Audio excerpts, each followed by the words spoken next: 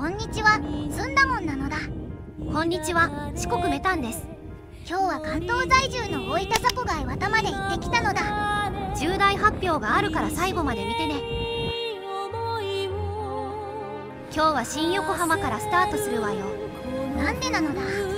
午前中は仕事して午後は半休を申請しているからよ。今回は新幹線のこだま号で新横浜から掛川まで行ってそこから東海道線に乗り換えて三栗屋駅に行く計画よ推しの子と鬼滅の3期が終わって生きる気力をなくした投稿者です。大分と岩田を指揮していた、シャムスカ監督はサウジアラビアで元気に過ごしています。なんだその情報収集能力は？トリニータ時代、関東遠征中に、シャムスカ監督と一緒に写真を撮っていただきました。我が家の家宝として大事に撮ってあります。同じ囲みでも、トリニータはボール囲みが得意です。どうも投稿者です。あなた随分と攻めたわね。こいつの言っていることは無視してトリニータの話をするのだ。前節はアウェーでジェフ千葉と引き分けてしまったわね。ゴールポストに2回も嫌われて残念だったのだ。それから試合後に公式からペレイラ選手の肉離れによる診断が発表されたわ。ここで大分トリニータの公式サイトで発表されている怪我人リストをまとめてみたわ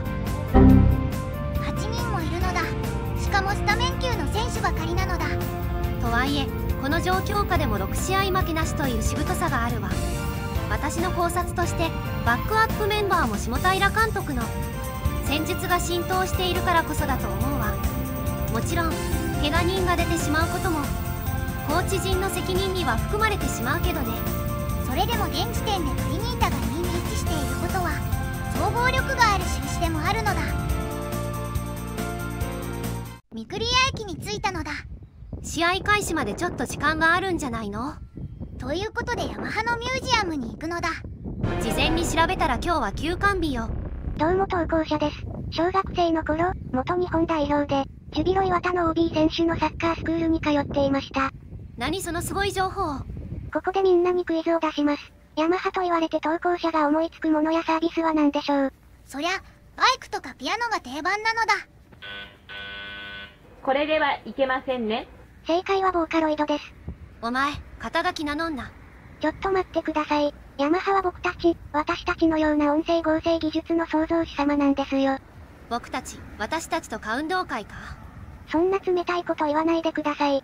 さりげなく語弊を招く発言は慎むのだなんなら、名誉静岡県民の絆あかりちゃんだって、ヤマハの DNA を引き継いでいるんですよ。ガチの炎上ネタはやめて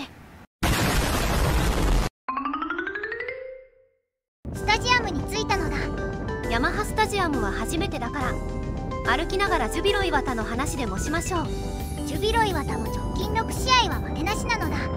リーグ戦では J2 第4節の大宮戦だけ完封負けでそれ以外は勝敗関係なく毎試合ゴールをしているわ。投稿者はケチって DAZN に加入していないから。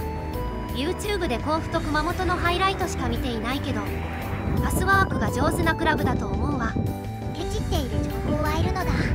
特にジュビロの熊本戦の2ゴールはワンタッチを使って得点しているわ。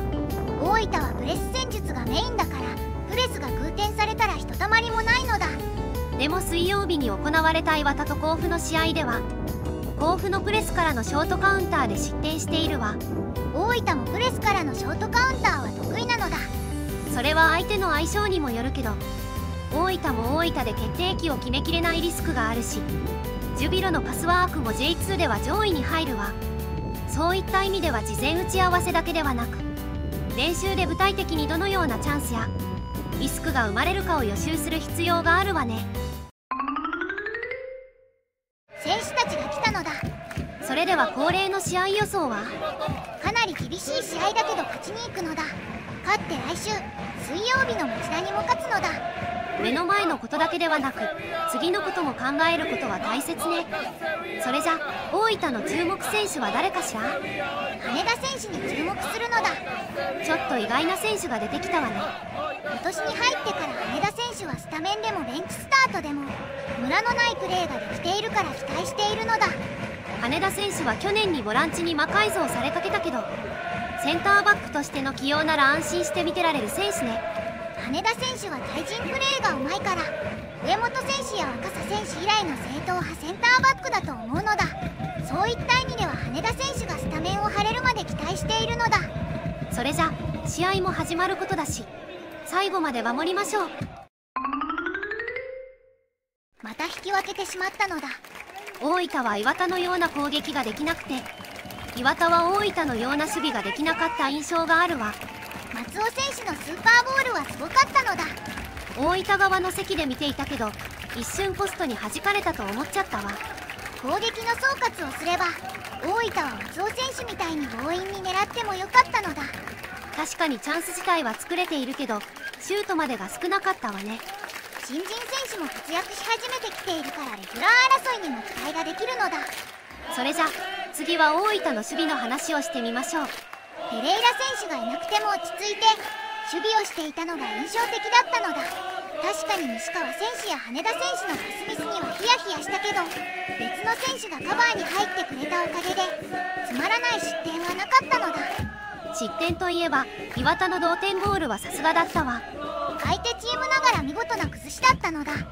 大分もエリア内でボールを持ち続けるだけではなくワンタッチでボールを散らしていく展開はヒントになりそうねこの試合だけで見ればアウェーの地で岩田と引き分けたのは大きいのだそれじゃひとまず三栗屋駅に戻りましょう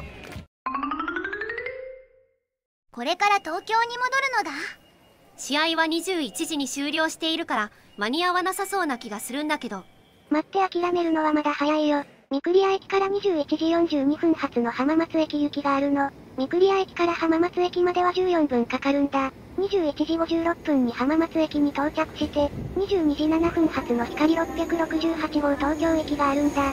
それで品川駅には23時22分に到着するから、日付は変わるけど、家まで帰れるんだ。てかそれが重大発表なの？それで次回のアウェーはどこなのだ？8月は東日本のアウェーがないし9月9日の甲府なのだホーム、え今なんて言ったのだホーム、そう。